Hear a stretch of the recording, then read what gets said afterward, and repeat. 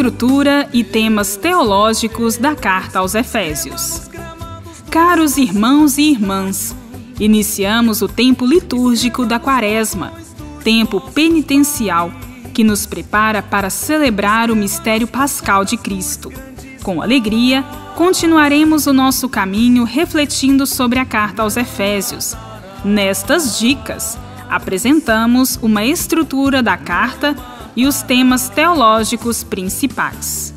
Há várias propostas de subdivisão da carta aos Efésios, mas, de forma geral, ela segue o esquema clássico de uma carta: o cabeçalho, o remetente, os destinatários, citados de forma geral, a saudação, em Efésios capítulo 1, versículos de 1 a 2. A bênção, Efésios capítulo 1, versículos de 3 a 14. A ação de graças e a oração introdutória, Efésios capítulo 1, versículos de 15 a 23. O corpo da carta, no qual é desenvolvido o conteúdo, Efésios capítulo 2, versículos de 1 a 6 e 20.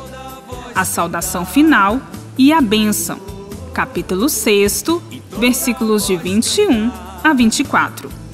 No desenvolvimento do texto, há uma parte teológica, do capítulo 2, versículo 1 ao capítulo 3, versículo 21, com o conteúdo da revelação do mistério de Deus em Cristo e uma parte exortativa, do capítulo 4 ao capítulo 6, versículo 20, na qual são descritas algumas características da nova vida dos batizados.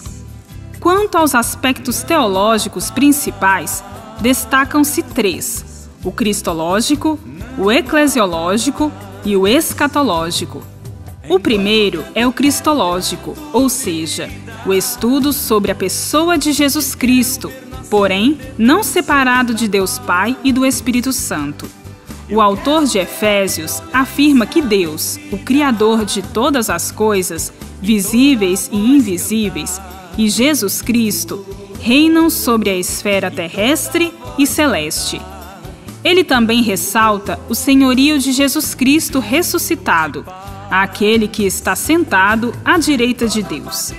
O autor raramente usa a palavra evangelho para designar a revelação de Deus em Jesus Cristo, mas emprega o termo mistério. Mistério consiste num segredo de Deus, inacessível aos seres humanos, pré-estabelecido antes da criação e revelado à humanidade por iniciativa divina, por meio de Jesus Cristo. O segundo tema dessa carta é o eclesiológico, estudo sobre a igreja ou as comunidades cristãs. O autor apresenta uma igreja universal.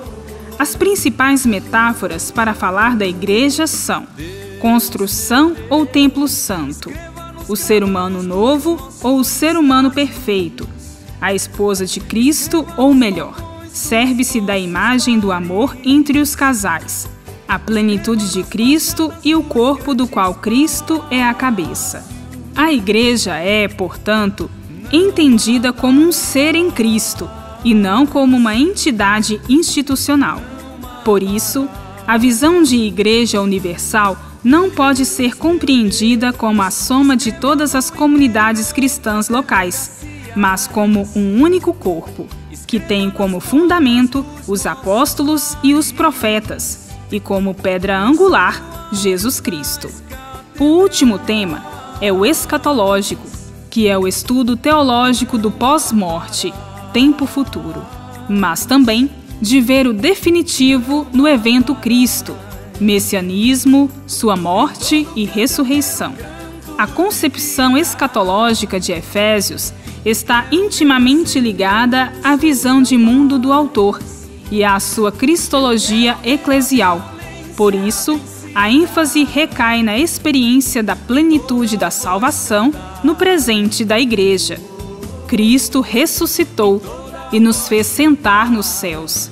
No presente e no futuro, somente revelará o que já é uma realidade na vida do batizado. Porém, Mesmo vivendo essa experiência de sermos ressuscitados com Cristo, é necessário aos batizados se comprometer com o reino e manter-se no seguimento de Jesus por meio da comunhão, do empenho em viver como pessoas novas, com novas relações familiares e com essa luta constante contra o antirreino. Por isso, o autor dedica a metade da carta para exortar os cristãos a viverem em paz, na unidade, em comunhão, na vivência do amor fraterno. Esses temas teológicos de Efésios nos fazem refletir sobre vários aspectos da nossa caminhada como cristãos e cristãs.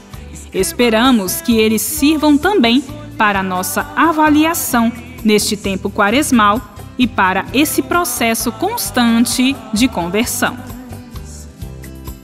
Pausa para reflexão.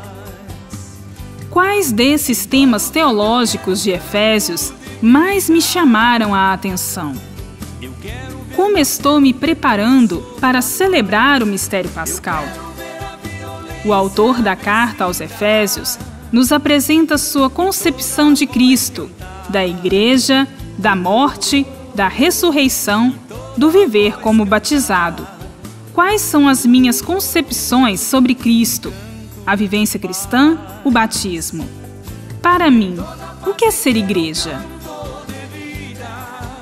Texto de Irmã Zuleika Aparecida Silvano, irmã Paulina e assessora do Serviço de Animação Bíblica, Sabe Paulinas.